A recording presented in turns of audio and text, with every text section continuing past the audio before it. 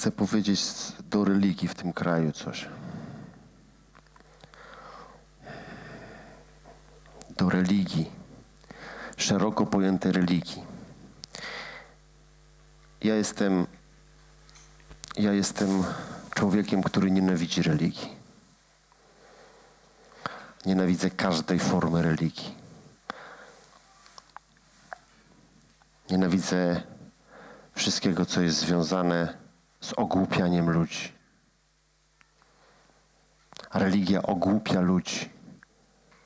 Religia przekonuje ludzi do tego, że jest matką Boga.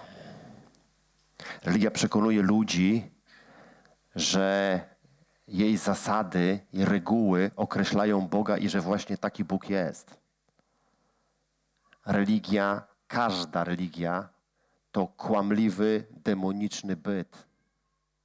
A religijni przywódcy to są ludzie, którzy są zdemonizowani i potrzebują uwolnienia od demonów, a bardzo możliwe, że potrzebują terapii, ponieważ mają zryte umysły. Ja apeluję teraz do wszystkich religijnych kacyków w tym kraju.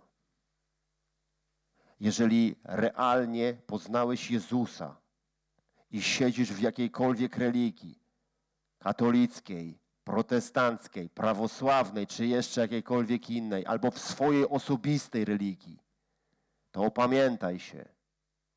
Opamiętaj się, bo religia zżera ciebie i przez ciebie działa na ludzi, którzy wierzą temu, co mówisz.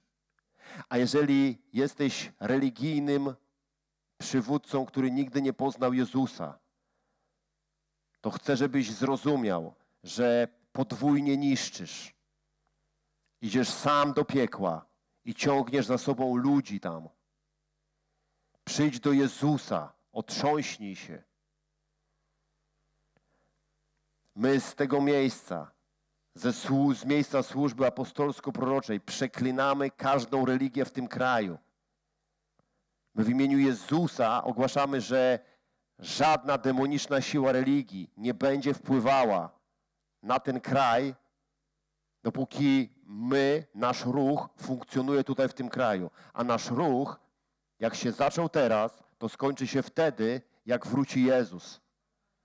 Amen.